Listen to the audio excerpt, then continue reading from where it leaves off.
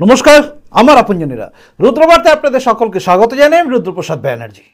লোকসভা নির্বাচনে দামামা যখন বেজেই গেছে, যখন সমস্ত লোক আমরা ঠিক করছি কাকে ভোট দেব, যখন বাংলা জনগণ মুখিয়ে আছে, ভোট, যেটা নাকি উৎসব, তার দিকে, ঠিক সেই মুহূর্তে বাংলার মায়েদের কান্না সবাইকে কাঁদিয়ে দেবে। ভাবাবে আপনাকে যে এই ভোটে, এই লোকসভার ভোটে আপনি কাকে ভোট দেবেন? কি করবেন আপনি? সবটা আপনাকে ভাবাবে। বাংলার মায়েদের কান্না শুনলে। আমি কোনো রাজনীতির নেতাদের কান্না শোনাবো না। শোনাবো না তাদের ভাষণ। আমি শোনাবো বাংলার মায়ের কান্না। দেখতে থাকুন রুদ্রবার্তা।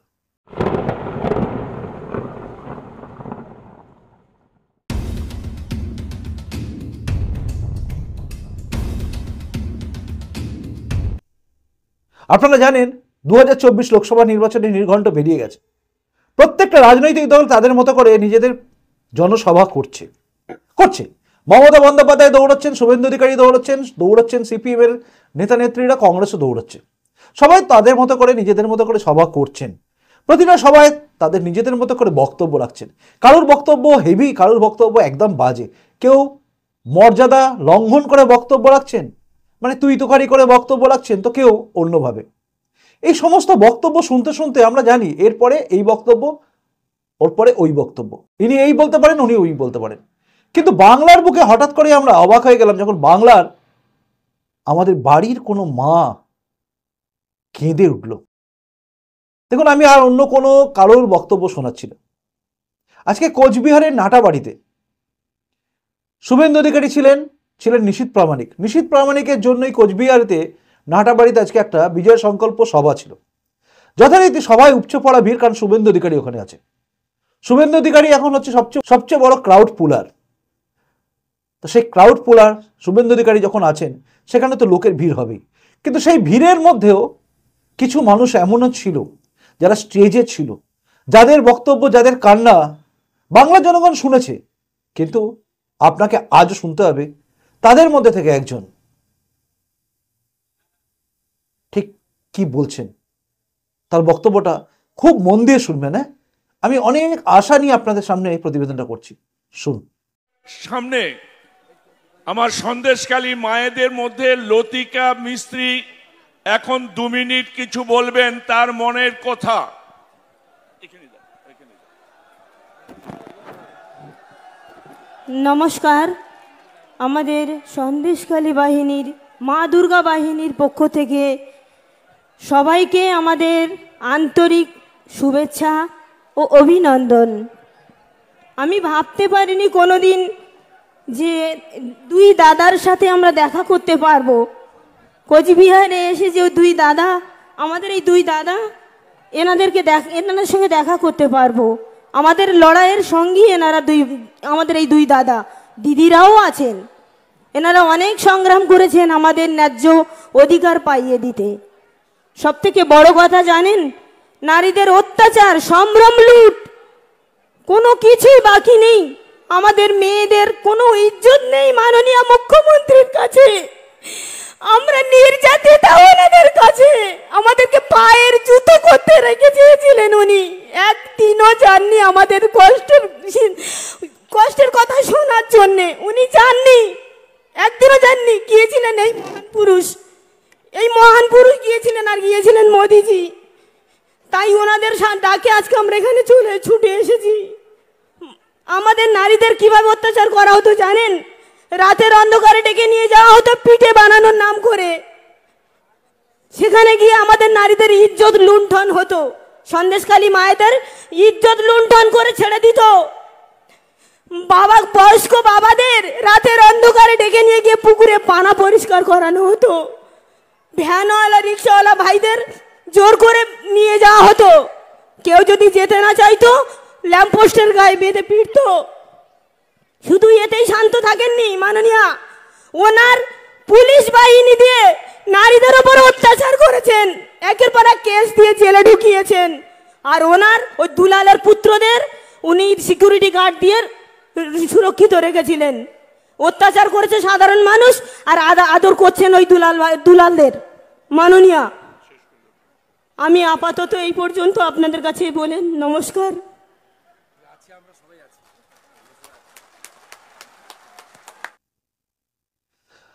শুনলেন?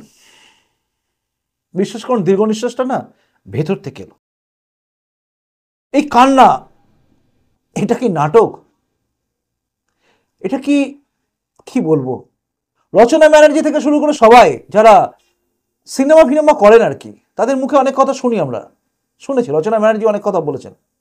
সন্দেশখালী নিয়ে অনেক প্রশ্ন করেছেন। আজকে সন্দেশখালীর এই মায়ের গলা রচনা ব্যানার্জিকে কি বোঝাবে? আমি জানি না। জানি না, মমতা বন্দ্যোপাধ্যায় স্টেজের মধ্যে হেঁটে হেঁটে চারিদিকে বেড়ান, তার কানে এই কান্নাটা পৌঁছচ্ছে কি? পাশে দাঁড়িয়ে থাকা শুভেন্দু অধিকারীর চোখ মুচ্ছিলেন। অদ্ভুত এক পরিস্থিতি, জানেন?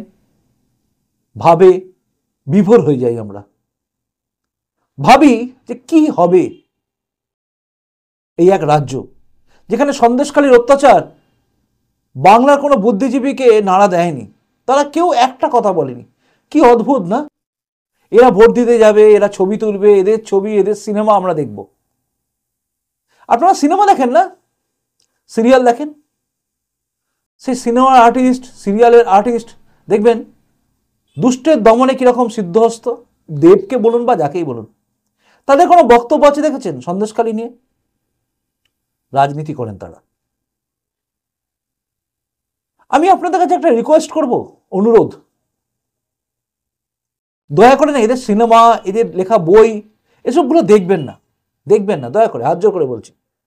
যদি একটুও মনুষ্যত্ব থাকে আপনাদের মধ্যে, দেখবেন না, বর্জন করুন এদেরকে।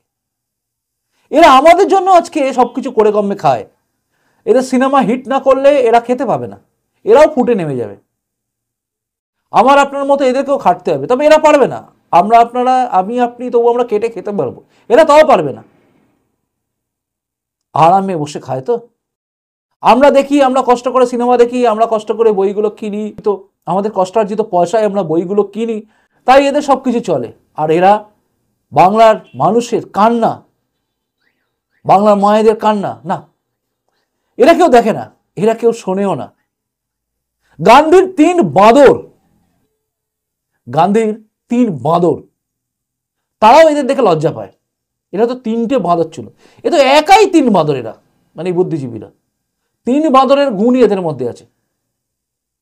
এরা কানেও শোনে না, এরা চোখেও দেখে না এরা মুখেও বলে না। হ্যাঁ তবে এটা কি? এটা কিন্তু আমাদের রাজ্যে অত্যাচার হলে। কারণ খাবারটা যেটা পায় না, সেটা পায় এই সরকার দেয় বলে। তাই এই তিন বাঁদরের গুণ সম্বলিত এই সমস্ত বুদ্ধি বেঁচে খাওয়া লোকেরা কিছু বলে না। কিন্তু আপনি, আমি তো পারি। পারি না। বদল করতে। পারি না এদের কান্নাকে মোছাতে। কান্না আপনাকে নাড়া দেয় কি? দিয়েছে কি? আমার প্রশ্ন শুধু আপনার কাছে। এর কান্নাটা কি আপনার কাছে কি মনে হচ্ছে? যে ফেক মানে যেরকম রচনা ব্যানার্জিরা বলে আর কি, যে ও তো কজন বলছে? সবার হয়েছে কি? বা জেল থেকে বেলে থাক কুণাল ঘোষ।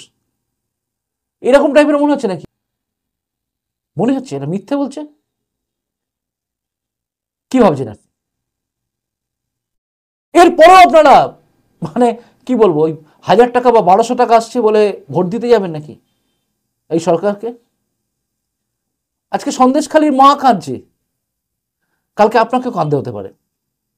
লক্ষ্মীর ভাণ্ডার, সরস্বতীর ভাণ্ডার, তারপর আর কি কি ভাণ্ডার আছে, সব ভাণ্ডার ঢুকলেও এই যে কথাগুলো, বারবার ভাববেন, বারবার শুনবেন বারবার শুনবেন, পিঠে তৈরি করতে ডাকতো।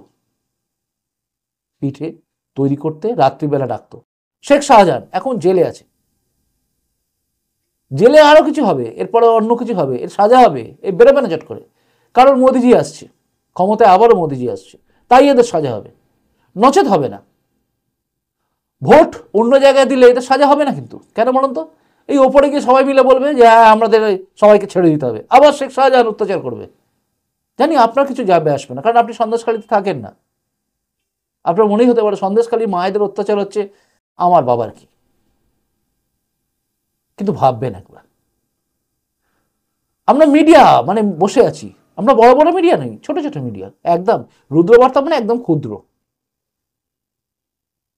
কিন্তু সেই মিডিয়ার একটা কাজ থাকে। শুধু জানলাম, বললাম, তা তো নয়, জাগানো দরকার আছে। জানেন বিপ্লব কি করে এসেছিল? বিপ্লব এরকম পত্রিকা লেখা হতো, তখন তো আর এই ইউটিউব ছিল না, যে আমরা বলতে পারব কিছু। তখন পত্রিকা লেখা হতো। নীল দর্পণ পত্রিকার নাম শুনেছেন? সেই পত্রিকা লিখতেন। কিসের জন্য লিখতেন? পয়সা পাওয়ার জন্য? না। জাগানোর জন্য। রুদ্রবার্তা সেরকমই একটা প্রয়াস থাকে। জাগুন আপনারা। বুঝুন, একটাও ভোট যেন না যায় এই অত্যাচারীদের কাছে। এদের সব শেষ হয়ে যাবে। মনে রাখবেন, এদের ট্যাপ, ও সব শেষ হয়ে যাবে। শুধু একদিন আপনি যদি ঠিক থাকেন। একদিন, একটা দিন। শুধু ওই কয়েকটা মুহূর্ত, একটা বোতাম টেপার মুহূর্ত। ওই সময়টুকু একবার মন দিয়ে ভাববেন। অবশ্য ভাবতে হবে তার আগে। ধীর স্থির করে নিন। হাসতে হাসতে যান।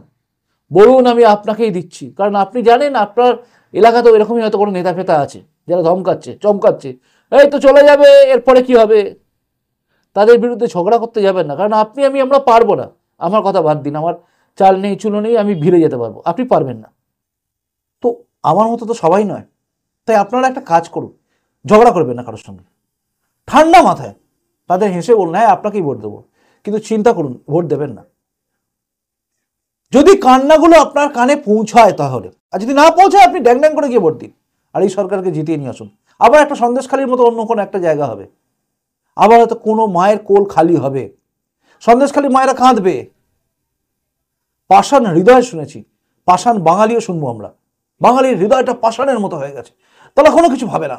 তারা জানে আমার লক্ষ্মীর ভাণ্ডার আসছে, আমার সবুজ সাথী আসছে, আমার শিক্ষাশ্রী, অমুকশ্রী তবুশ্রী চপশ্রী, ঢপশ্রী, জবশ্রী, যা কিছু। শেষ পর্যন্ত হয়তো কবরশ্রী শ্মশানশ্রী, সবই নেব। যাই হোক, অনেক বলে ফেলেছি। মনে হতে পারে, এই চ্যানেলটা কি চ্যানেলে বা উল্টো পাল্টা জ্ঞান দিচ্ছে? আমি জ্ঞান দিচ্ছি না, আমি সত্যি কথা বললাম।